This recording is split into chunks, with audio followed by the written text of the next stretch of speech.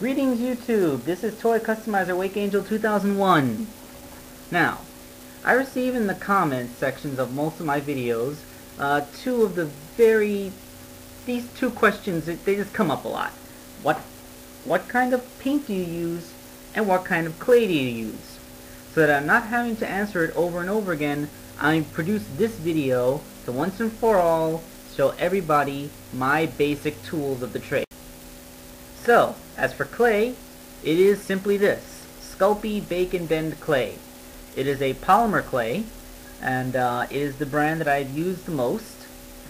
I choose it because as a polymer-based clay, it hardens into something that feels very much like action figure plastic, and it's fairly durable. You can drop it on the floor without risk of it chipping or shattering.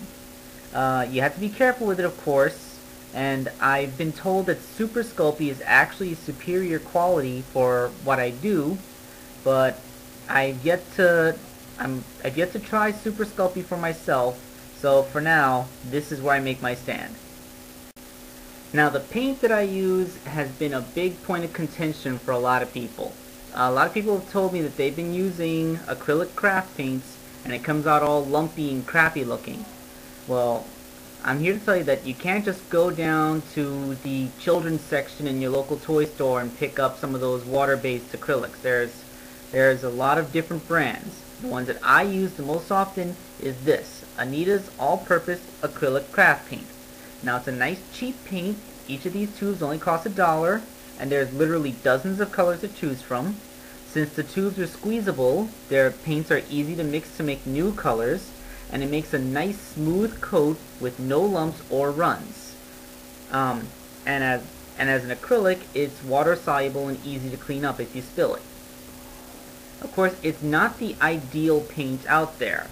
Um, acrylic, this version of acrylic craft paint is meant to be used on paper and wood, so it easily chips and peels when you use it on plastic, unless you're using a primer or a sealant. Also, it has a dull, papery texture when it dries. The sealant will also be needed to give it a bit of shine if you're using it for an action figure. Speaking of sealants, the type that I use is a matte Krylon low odor clear finish spray-on sealant.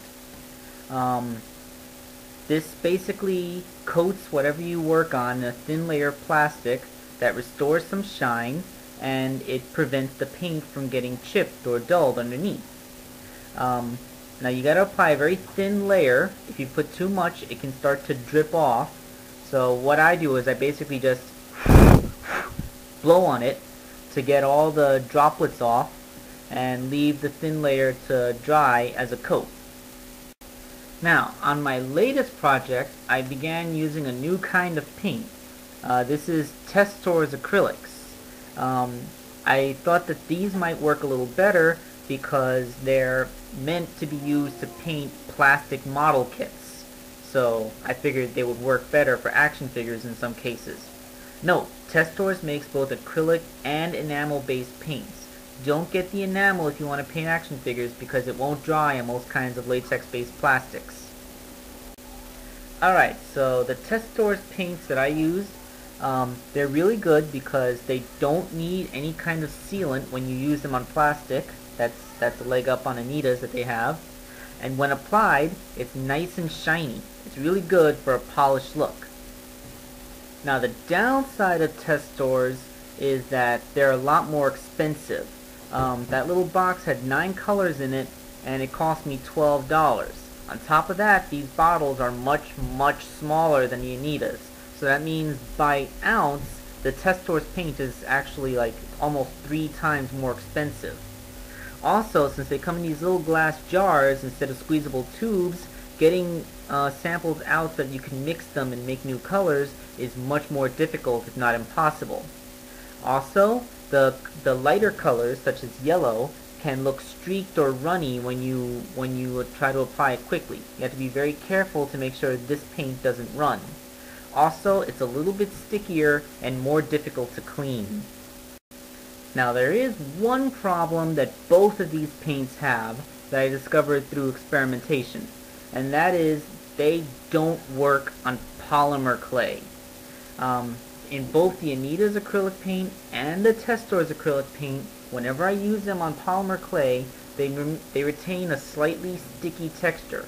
And in one case, the Testors paint practically turned into glue on the figure, forcing me to completely dismantle every clay part on it and start over again, which cost me days of work. Still kind of pissing me off. Um, I'm told that different brands, such as Citadel paints, do properly dry on polymer clay. But I never had a chance to use Citadel paint, so I'm only going by what I've been told. Also, I'm not sure if these paints would dry on different types of clay, um, such as Super Sculpey or Sculpey 3. I'm not sure. I have not yet tried it, and if you want to experiment, go ahead. I'm just saying that if you're going to use these kinds of paint, don't paint them onto polymer clay because they'll remain sticky and won't properly dry. Well, this is Toy Customizer Wake Angel 2001, hoping that your questions have been answered.